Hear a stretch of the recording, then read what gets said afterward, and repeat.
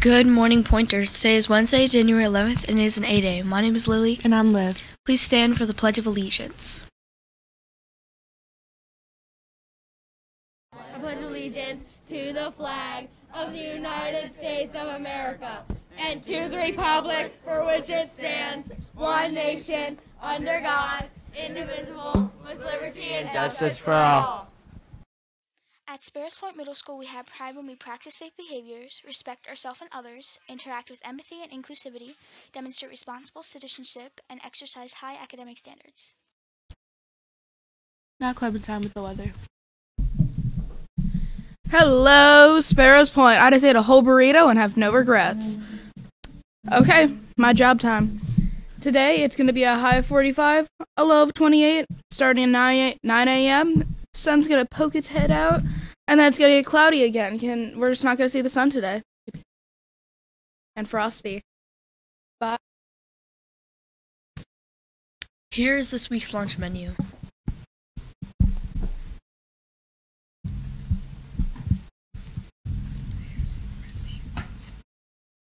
Now Lucas with the National Day.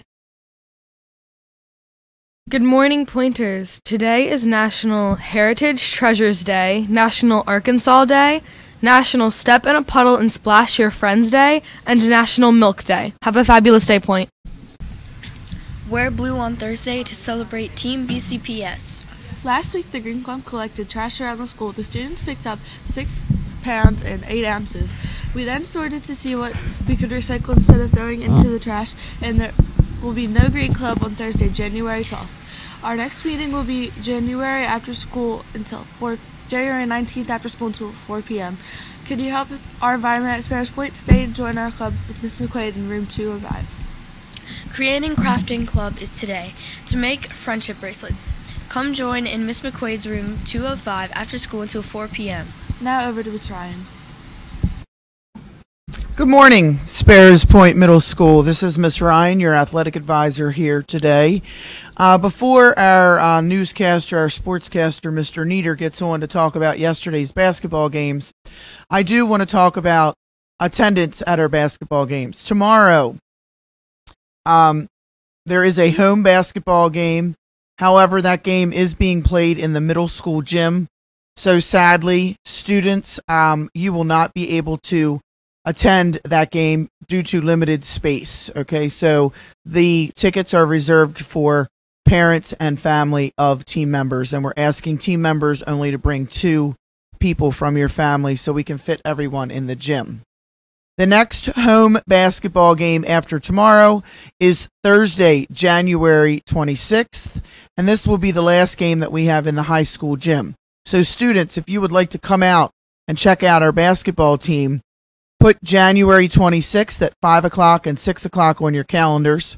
Now, the Baltimore County Public School policy, athletic policy for middle school students is that middle school students may only attend athletic events with a parent, okay? With a parent. So you do need to purchase tickets on Ticket Spicket. Um, so I would start talking to your parents now, January 26th, 5 p.m. and 6 p.m. See if you can get your parent to bring you out to the game to support your pointers. Thank you.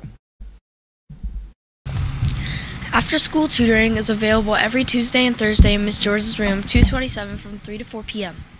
A snack will be provided. Make sure you have a ride home. Please look at your updates on Schoology to make sure to respond to the survey for Celebration of Champions. Each grade level has their own link to access and sign up for your activities. Do you want to participate in the Minute to Win It games at Celebrations of Champions? You can enter the raffle by putting your paws, first and last name included, into the brown bags in the cafeteria. Each grade has their own brown bag, so make sure to enter for your chance to win one of the awesome prizes and compete against your classmates. Attention Educators Rising. Our next meeting is January 26th.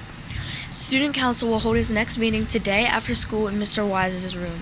Intramurals are back. Intramurals will be in the gym on Thursday, January 19th with Miss Antonelli. We will back we'll back up with intramurals on every Tuesday and Thursday when the basketball seasons are over. What are you reading Wednesday?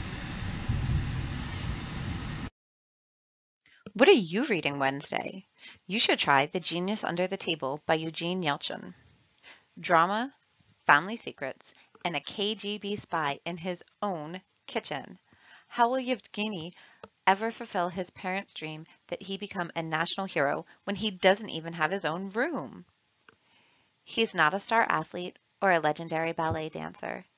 In their tiny apartment he shares with his Baryshnikov-obsessed mother, poetry-loving father, continually outraged grandmother, and safely talented brother, all Yevgeny has is his little pencil, the underside of a massive table, and the doodles that could change everything. Just With give us the parts charm and solemnity, artist Eugene whole Yelchin recounts in hilarious detail his childhood in Cold War Russia as a young boy desperate to understand his place in his family. If you want to find out what happens to Yevgeny, check the book out from our library today. Now Tommy with the sports report. Yesterday against uh, Holabird in the high school gym, the girls basketball team won 35 to 3 and the boys team lost 33 to 29. However, the top shooter for the boys basketball team was Evan with a total of 14 points.